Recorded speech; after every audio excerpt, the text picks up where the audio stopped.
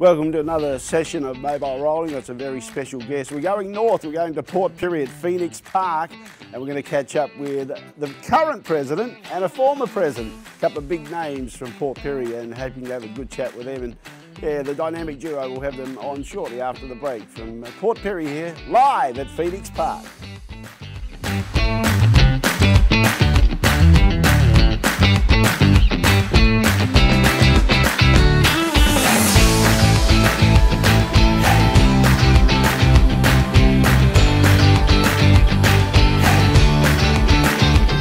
Well, we promise you some very special people from Port Pirie. We have Greg Sims, the uh, current president of the, the track here. Greg, Jimmy, how are you, mate? great to have you on Mobile Rolling. Um, and of course, a former president who's worn many hats is Neville Thomson. And everyone knows Neville if you've been to Port Pirie Trots. Good to have you on the show, Nev. Yeah, thanks, Jim. Thanks for inviting me. Great, Yeah. great to be here. Yeah, exactly. Now, we'll start with you, Nev. I mean, you started off as a very young man getting involved with the sport of harness racing on the committee. Yeah, I was uh, 17 at the time, Yeah. and um, yeah, I used to um, sit at the front on a. I was what my home, my mum and dad's home, was straight across the. Um, Just across the road. straight across the road. Anyway, um, I'd sit there and um, wait for different people to come along. There was an old bloke, Cliffy Dangerfield, his name was. Anyway, he had uh, always had a couple of horses, never had no one to help him. So I went across and give me a hand with his horses. He had the only one horse that ever done any good was Amazing Blue, but um, he never had much luck. But um, anyway, um, and then I, I would come across the Normans. Uh, ironically, it was Barry Norman, not the Barry Norman from Adelaide that passed away. Yeah. Um, Barry Norman from um, Gladstone Okay. and he's there's some nice horses in Talara and uh, Karana. Yeah. And old Herbie was a great driver. Anyway, I become good mates with his son Barry, and they, they'd take us everywhere. They come and come into Pirie and pick us up, take me to Port Augusta, and had some great trips with them. Anyway, but Barry, I was his best man, but um, old Herbie, if he was three back the fence, he'd still get out. Yeah. But with but Barry, he'd still be in there trying to get out. and um, yeah, so he's um, the, the son, Barry never got uh, the capabilities of his dad in the end. But um, but yeah, had some good times just there. Um, had another one while I was across the road one night. My dad and I thought he was half drunk. Come out and um, he said. Come out the front here. I said, what's wrong? He said, there's two elephants on the front lawn. The circus was on the, in town, Yeah. and the circus used to be parked on the terrace. Yeah. And you, just in a car park here, that's what the Trotting Club let them have the car park. Anyway, sure enough, there was two elephants there, right, on the front on the front on the front lawn. It was only a bit of green they'd probably seen for a while, by, by the look of it. But yeah, it was quite quite an interesting time. Yeah. And- Um, you, you actually weren't involved as a participant though, as far as driving and, and training or anything like that. It was just as a spectator, no. becoming No. involved in administration. No, that's right. You only ever drove. Um, I, I drove out Tomo's place. I drove a few just in oh, slow work. Um, Gabbardi was probably the best one I drove. Yeah. He was a handy horse and went to Western Australia, I think. But anyway, um, then I was being on the committee. Um, there was a um, Cyril Potts. He was a great man. He he's he's got a lot to be thankful thankful from over the years here. For he got people like um, there was top, the two Thompson brothers, and there was um, Kenny Don't, Kenny Smith, and um, couple of other ones I just can't think of at the moment. Yeah. But, um, but yeah, they were. Um, he got this group together, and he, another one was funny, funny one was Phil Wilson.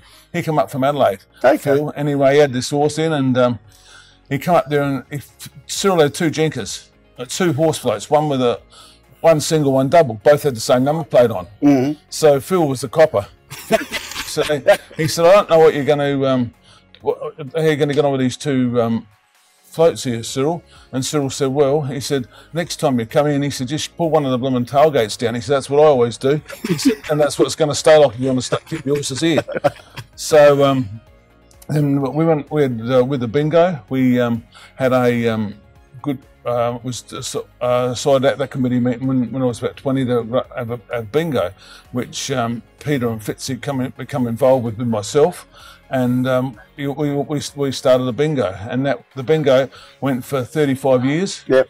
and uh, which we made good money to uh, do the facilities around the place, like the um, put money into the tower, our steward's tower, which you sit in, Yep. and also um, into the track. We had money to put into the track as well, so it was. Um, it was really good to uh, be able to do that and help the club out along the way. Um, in the past, another another good memory was Bill Maroney. He was president of the club years ago, and I and he was a meeting in Adelaide. He said, "Come down with me to Adelaide." So I went down with him, Anyway, um, we went in there and anyway, come out and he said, I've got to get something on North Terrace. I said, you're going to have fun, get the park here, Bill. Bill just pulled up, pulled up out the front, got out of his car, undone the bonnet, and he said, put the bonnet up. And he said, if the cops come along, just tell them I was going to get help. Mechanical Trying to get help. Anyway, come back, in the car we go. Uh, back in the car we get. And, um, but um, he was a blooming good old, good old um, farmer. One night, at, one night at bingo, there was a disagreement between uh, Bill and my father. No, fisticuffs out Really? back, but both were settled within a week. Of course, you know they both they both admitted they were wrong and uh, got on with it, got on with the show. But um, but yeah, with was uh, bingo was real good, like Johnny T and his wife Glennis T, and that helped run it throughout right throughout the years and um, and it was and it was um, a great time. But, and then we um, move along to the, uh, the the track. Well, the track was run, by uh, Mick. Actually, took Mick Darling took control of the track Yeah. because he was um, works, foreman for the council, which helped.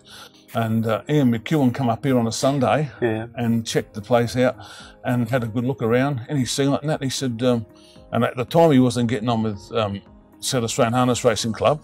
So um, he said, get some plans to me. So we got the plans out. We got the plans down on the Monday morning, first thing to him.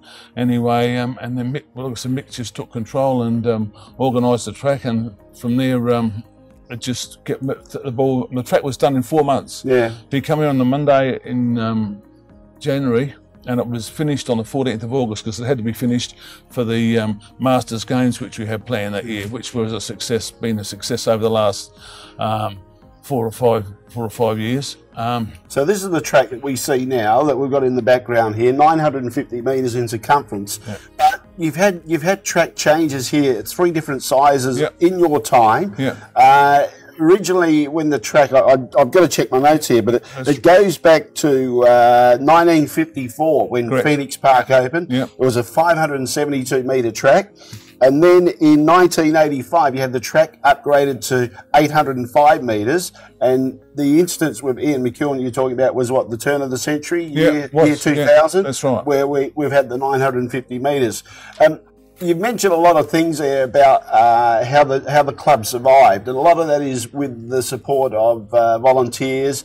And Greg, you as as president now, you, you've seen all that work that's been presented over the years, Yep. and it's just something that you've got to flow on now. Yeah, that's right. Uh, we we rely on our volunteers. We have a tremendous group of volunteers that run the canteen for no cost and um, do a lot of work around the place. Yeah, without volunteers, we'd be really struggling. Yeah. What about you as a role as president? I mean, you've got a harness racing background. How do you get involved in the trots? Um, Thirty odd years ago, a bloke called Les Jones Okay. um, had horses at Port Gorton, and I I always liked horses, and I went in partnership with him uh, a horse, and uh, we uh, wasn't wasn't a hell of a very good, but um, yeah, then I just sort of started driving a few in jog work and then in fast work, and the lads come along and they were keen to, or two out of three were keen anyway, and uh, yeah, just snowballed from there, sort of thing. Yeah. And you've had your own family members that have continued on as well. Yeah, Troy and Brad are both still in the harness racing. Um, we've had a few decent horses over the years. We started off, we was lucky enough to get one fairly early called Bravado Smoke, Yeah.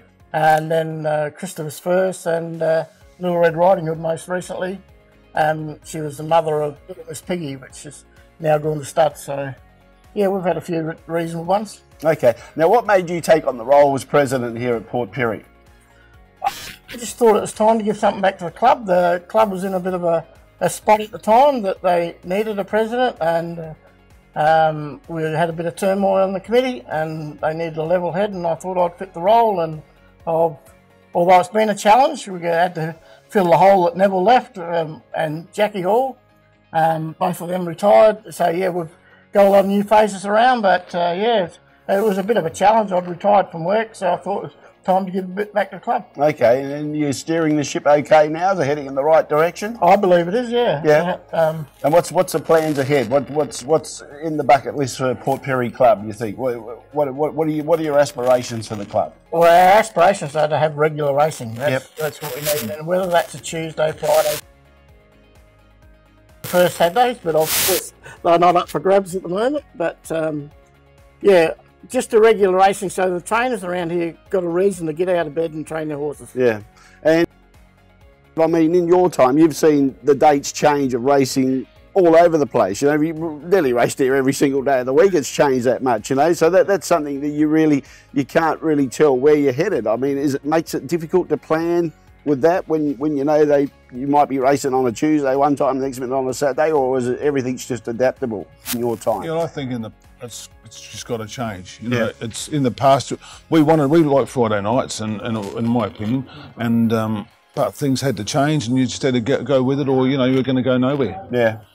And, and, same same thing for you, Greg. You, you think just adapt with, with what they throw at you and say, okay, look, we want a race. Uh, and, and, I suppose you've got to work on the numbers of the trainers in the area to, to make sure the. Well, that's right. I mean, you're not going to please every trainer, um, and a lot of them aren't happy with Tuesday nights. But we need to fit in with the board and look at the industry as overall and um, what's better for the industry. And I believe last Tuesday night or last time we raced here uh, the turn up betting turnover was really good. So. Yeah. And, and it's a history making club because I, I looked at, uh, I was cleaning out my room the other day and I found a South Australia Greyhound leash which said on Friday, February the 22nd, 1985, the Port Pirie Club right here, right now, was the first ever Greyhound and harness meeting with tab coverage under lights in Australia. So it's a history-making club. It's done that. Strathalbyn had had a tab meeting in daylight conditions with harness and greyhounds, but Port Pirie is the first ever track in Australia under lights with tab coverage, and that goes back in 1985. That was your time, Neff? I was actually off for a period in the mid 80s, but while I, while I was off, I actually ran the Botra, um, which when we, that we were getting 40 and 50 horses at the trials. Yep. So, um, you know, even though I wasn't on the committee, I was um, always with the Botra, but yeah, that's when this top bar, I believe, well, it wasn't, that's when this top bar was built up, yeah. similar time to that, but yeah. We, we had discussions about the, the, because if you can see in the background, all, all we've got now is the harness racing track, but inside of that was the greyhound track, and where the harness racing track is now is where the thoroughbred racing track was, and it was a dirt track. And I, I, I remember calling the last ever meeting here, uh, and look, I, we, we were discussions about this, what year it was, but I believe it was on the 10th of September 1998. And Jarmac won the cup, trained by Gary Kennewell. And the record shows that Richard Jolly was actually the jockey of that particular galloper here. And I remember calling the last ever meeting here. And I know you were in the office here mm. back in 1988, because I remember 98, I should yeah. say, uh, when I, I, saw you here. And you said, Oh, Jimmy, you're finally calling the Gallops meeting. But that was only a once a year event, wasn't it? Yeah. Yeah. We, when we, when went to Ryder a, a, couple of years before, and Ryder, was, we were in the box seat because there was racing greyhounds and um, harness racing. Anyway, um, the the galloping code said that if we give our our, our galloping meeting, which we only had one a year, yep. and it was um, and it belonged over to um, uh, anyway, it was for the greyhounds here. But when um, when um, they come and they when they come along, it was um, we had their support. We had we had the racing support. If we forgo our um, we we got forgo our gallop meeting, so we forwent that, and then we got we had great we had the us and the gallops on our side, three two against one. Went to a meeting, and I did get a couple of. Um, not looking great from a couple of farmers out one deer. One was Leo Kane, who was a relation of mine. They weren't weren't happy at all because um, Wallace, they said, you're in charge, you, you give it away. Yeah. You, you, give it away. It wasn't me to give it away, but, but, it, um, but it worked out, you know, worked out better in our favour that we were going to get the more meetings. So we went up to, um, we went up to 20 meetings after Ian McEwen. When I, when I started in 97, yeah. we had, we were on, um,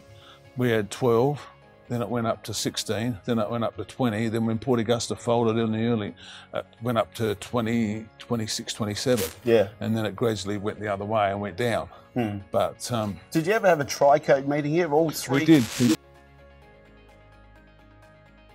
Well, where, where could you fit the gallopers and, and the harness horses, I suppose, in the stable yeah, here? It would have been. Gallops uh, it was never, except for the cup meetings, we tried on, on gallop meetings here when we had two horses where walkovers, you know. Okay. You go in, there'd be, there'd be 12 horses to make a meeting up. Yep. You know, and that uh, was, that, you know, that was, that was very interesting, yeah. Now, Greg, uh, in your time now, um, Memorial Oval. Now they used to have electric light racing of trots there, and, yep. and I look. I don't know what year it was that it started, but I, I did find that the first meeting of Port Pirie Trotting Club on the 20th of October 1909 was held at the Port Pirie Racecourse. So that was somewhere elsewhere. I believe that was To um, Coonamarra way there. Okay, and then on the 21st of February 1922, the first meeting was at Memorial Oval. And I know that I read in Botcher one time in the 1930s they had electric light racing at Memorial Oval. So that's now the new sporting prince- precinct that they're doing there now? Yeah, that's the council have put a big uh, new grandstand, oval, and sporting complex there. It looks magnificent. So hopefully they're going to get a couple of AFL uh, early matches. Yeah. And uh, yeah, no, it's really good. Yeah, for sure. All right, so you've spoken about some of the aspirations of the club. You just want to keep racing, racing, racing. What what would be the dream for you as far as like Nev spoke about the number of meetings that peaked here at Port Pirie, around 26 it was. Yeah. Uh, what, what what would you like as president of the Port Pirie Club now?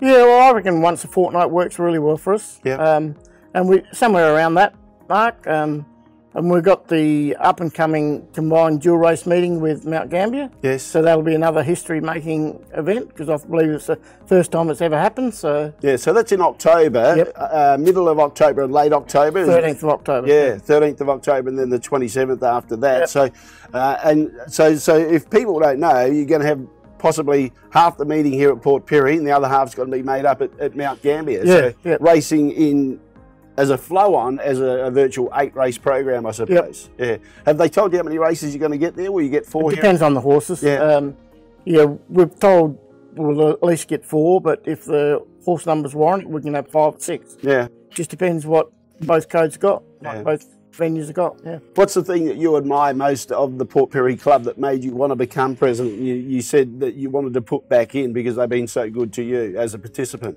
Oh, just the volunteers. Yeah. Uh, simple as that. Like this club has been profitable in the past just on the volunteers alone, and everyone you speak to has always had a turn on the committee or what. Uh, I've been on the committee nine years now, so thought it was time to step up and take on the big boys. It's infectious, isn't it? We saw we saw when it took over Nev's life. Nev, you, you spoke about Cyril Potts. I mean, he was instrumental in the Invitation Drivers Challenge, wasn't he? He, he, he was the one that started. Started up with Ginger Gleason. Yep. Anyway, um, he bring up Ginger, and um, after um, it's quite interesting. After two or three years of been going, people are ringing up and, and half accusing me, you know, for not being how come, invited. How come I never got asked? How come I never got asked? You know, and one, and once we let, once you we left left, left, left Lance out because we, we thought we'd put some other people in, we had his brother and that, and he wasn't happy at all. Yeah. You know, but Lance was great. That Lance never really missed, but yeah, you know, get the wild because they weren't getting asked. I know, I know what you're saying because I went to Maryborough Trots one time,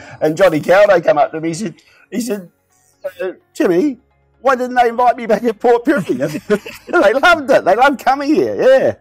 And, and look, you had some major names and drivers here. I mean, the late Gavin Lang was here on a regular basis, late midnight. You know, some of the, the real high-profile names. They just wanted to come here and be part of it. It's quite interesting when I went through the list there. Going through the list the other you know, Barry Purdon was here one year Yeah. when Inter Dominion was on at Globe Derby. Yeah. And one of the other main people on that night was Gay to Pulicino. Okay. Because she was like the leading lady. She's or- back now, yeah. and I laughed to myself. I thought, oh, Gator's back. Gator's back every week now. Yeah. Yeah. Well, um, there's big history, Nev. Yeah. Yeah, I mean, you've done a lot of work.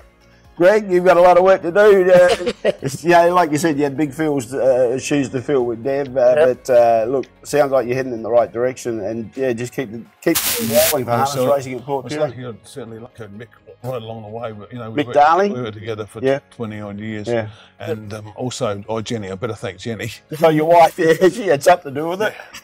Yeah. But like so, I, just 12 months ago, I went and over to Trot meeting and I just went home and said, um, I said to Jenny, I said, I just don't, I can't do this, just don't feel like I want to do this anymore. Yeah, And so I thought, that's it. yeah. You know. and, and the doctor did say to But- you, take it Yeah, easy. but I did. Um, at any time Barry's wanted it, Barry Koshel wanted any wanted a hand, he's always on the phone to me. So you know, I'm only too willing to help him out whenever I can. yeah. Yeah, You got a lot of history there, Nev. Yeah, so, mate. yeah, yeah. I mean, you've seen it all, and now it's your turn to build up that history, Greg. Yeah. Well, there we go. There's the Port Pirie legends here at Phoenix Park, Port Pirie Harness Racing. They rely on the volunteers. They do a lot of work, the volunteers, and they, they, they couldn't get by. But Nev, know, what, what's some of the main things you want to talk about? Oh no, I just wanted to mention about um, Dale Afford's another one. He's, he's around the place now. He was on the committee years ago, but if you asked Dale to do something today, he'd have it done before tomorrow. Yeah. You know, and um, and oh, people like Bob Augie. On Lefty Matters was secretary manager for years, and Lefty's still going. Yeah. He's in a home um, up at Leoholm, and he's he's up there, and um, he's still going along okay at 94. And uh, before that time, I mean, you see the name Lambert in the in the grandstand Yeah, area. yeah. Um, yeah, there's a lot of people that put in a lot of hard work. So Yeah, Joey. When we used to count the money from the bingo, from the bar, and take the bar money up to him, then we we borrow tables and chairs from the Risdon Footy Club for each week. We'd take them, then bring them. That's Tom and Fitzy and me, and take them back just to get us going. Must be wasn't long before we could buy our own, but um, but yeah, it's been um, been good times. And more to come. Yep. All right, there we go. That, that's a wrap. There's the Port Pirie Harness Racing Club. 950 metre circuit now. As we mentioned, there's been three different sizes here where we are right now at Phoenix Park, but 950, that's where it's staying.